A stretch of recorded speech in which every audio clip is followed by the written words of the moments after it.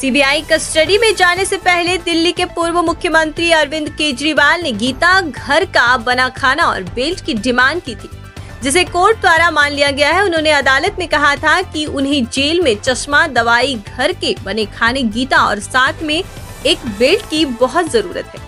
उन्होंने कहा कि बेल्ट की उन्हें बहुत ज़्यादा ज़रूरत है, क्योंकि तिहाड़ में बेल्ट न होने की वजह से उन्हें अपने पैंट पकड़कर चलनी पड़ती है।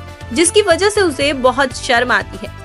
बता दें कि अरविंद केजरीवाल को शराब घोटाला मामले में 26 जून को तीन दिन सीबीआई कस्टडी में भेजा गया था और अगली सुनवाई 29 जून को सात बजे होगी। इस दौरान अरविंद केजरीवाल की पत्नी सुनीता केजरीवाल ने कुछ सोशल मीडिया पर ट्वीट कर प्रधानमंत्री पर निशाना साधा है।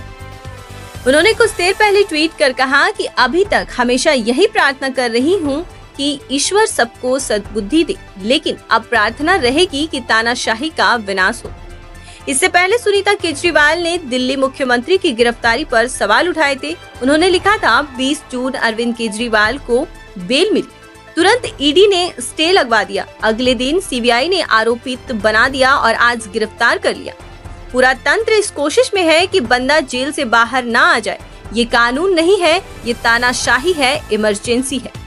गौरतलब है कि यह पहली बार नहीं है जब सुनीता केजरीवाल ने अपने ट्वीटों के माध्यम से सब पर ताना ना कसा हो। वह हमेशा ही अपने ट्वीटों के कारण चर्चा में बनी रहती हैं।